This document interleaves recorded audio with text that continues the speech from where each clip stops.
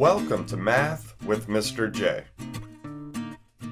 In this video, I'm going to cover how to use place value blocks to represent four-digit numbers. So we're going to be going to the thousands place.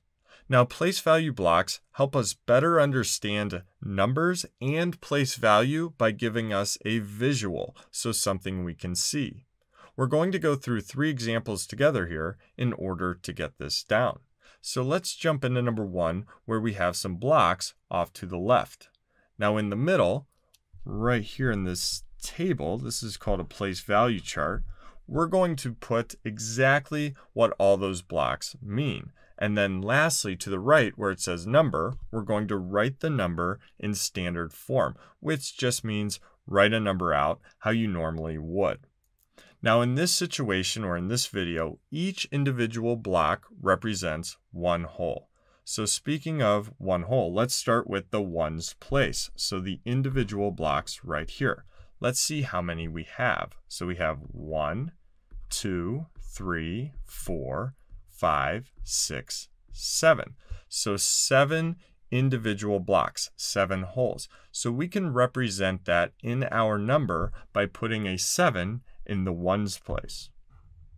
So let's move to this stack of blocks right here, which is a stack of 10 blocks. So we have one group of 10, which has a value of 10. And we can represent that by putting a 1 in the tens place. So one stack of 10, which has a value of 10. Next, we have some squares right here which each of those represents 100. There are 100 place value blocks in each of those squares. And we have, well, we have one, two, and three of them. So three groups of 100, which has a value of 300. And we represent that 300 by putting a 3 in the hundreds place. And then lastly, we have the two cubes, which those are groups of 1,000, and we have two of them. So this is a 1,000, and then this is a 1,000. So two groups of 1,000 has a value of 2,000, and we can represent that by putting a 2 in the thousands place right here. So that number in standard form would be 2,317.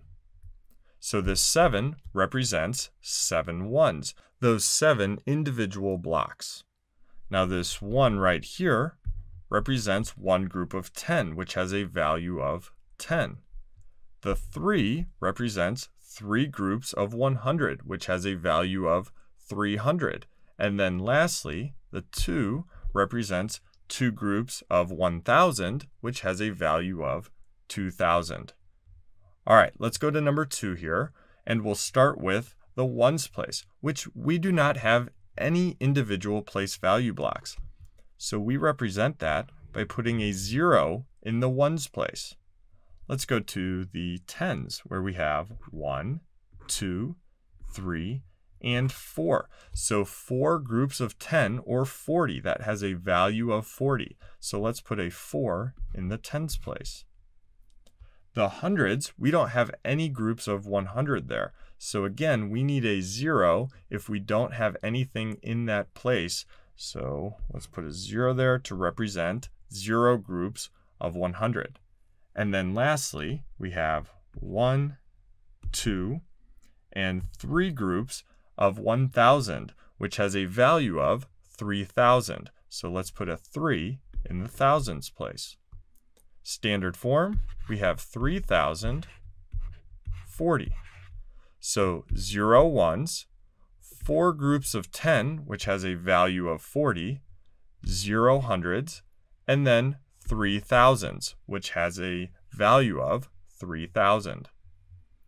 Lastly, number 3, we'll start with the ones, which again, we don't have any here, so we need to represent that with a 0. Then we go to the tens place. So we have one, two, three, four, five, and six groups of 10, which is 60 or has a value of 60. So we will put a 6 in the tens place.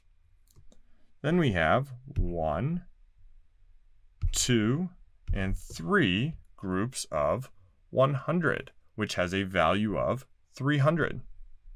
So a 3 in the hundreds place. And then lastly, one group of a 1,000 right here. So we represent that by putting a 1 in the thousands place. So that 1 has a value of 1,000.